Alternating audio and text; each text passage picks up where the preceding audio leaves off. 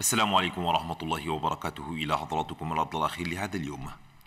وصل نائب الرئيس السوداني الأستاذ حسب محمد عبد الرحمن إلى العاصمة أنجمينا برفقة وفد رفيع المستوى لافتتاح معرض مجموعة الشركات السودانية للمنتجات الصناعية ويعد ذلك تعزيزا للعلاقات الأزلية القائمة بين البلدين في المجالات المختلفة.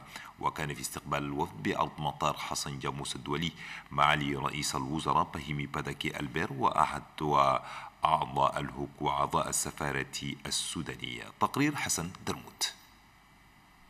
في تمام الساعة الواحدة وأربعين دقيقة ظهرا بتوقيت جمينا هبطت الطائرة السودانية وعلى متنها نائب رئيس جمهورية السودان حسب محمد عبد الرحمن يرافقه عدد من أعضاء الحكومة السودانية وكان في استقبالهم بأرض المطار رئيس الوزراء فهمي فتاكي البير ونائب رئيس الجمعية الوطنية ورؤساء المؤسسات الكبرى لدى الجمهورية وأعضاء الحكومة والمستشارين برئاستي الجمهورية والوزراء وعمدة مدينة أنجمينا. وبعد مصافحته لمستقبلي رئيس الوزراء وضيفه توجها إلى صالة كبار الزوار.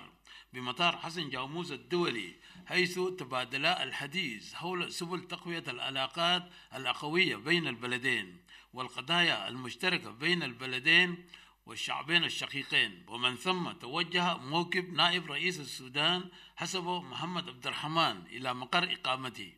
وتهدف زيارة نائب رئيس جمهورية السودان لتشاد لافتتاح معرض مجموعة من الشركات السودانية للمنتجات الصناعية وذلك في إطار تقوية الرقاء والتقدم في التنمية بين البلدين الشقيقين.